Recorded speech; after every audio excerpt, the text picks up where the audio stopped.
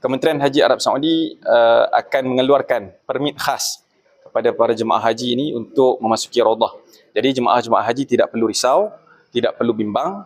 Uh, tabung haji akan sentiasa berusaha membantu jemaah-jemaah haji bagi uh, membolehkan jemaah haji ini untuk memasuki Raudah. Kita akan cuba dapatkan permit uh, sepanjang mereka berada di bumi Madinah.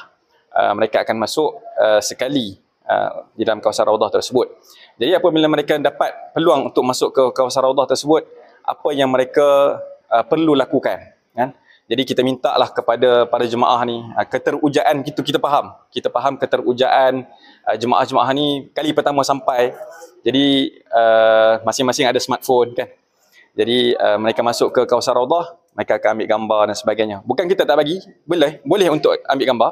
Tetapi adabnya apabila kita masuk ke kawasan Raudah, pertama sekali kita masuk, kita laksanakan solat terlebih dahulu. Sebab kawasan Raudah ini adalah kawasan Uh, di dalam masjid Nabi sallallahu alaihi wa ala alihi wasallam. Jadi dirikan solat dahulu, uh, solat sunat taubat, uh, solat sunat tahiyatul masjid, solat sunat taubat dan sebagainya.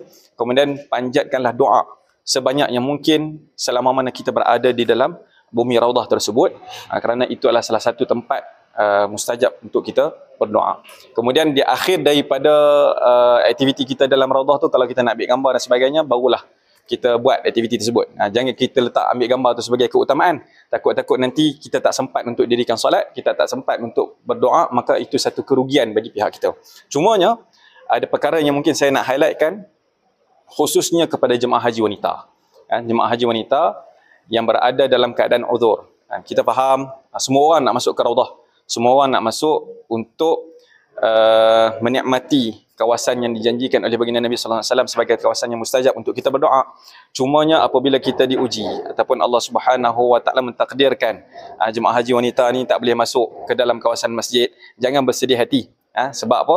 Sebab kita masih ada ber, kita masih ada peluang untuk berdoa di mana-mana kawasan di Masjid Nabi sallallahu alaihi wasallam cuma kita tak boleh nak masuk dalam kawasan Raudhah sebab Raudhah ni adalah sebahagian daripada Masjid Nabi sallallahu alaihi wasallam.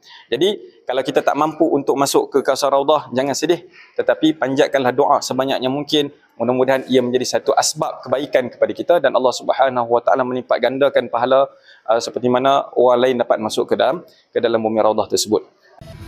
Mom, mom, mom, mom.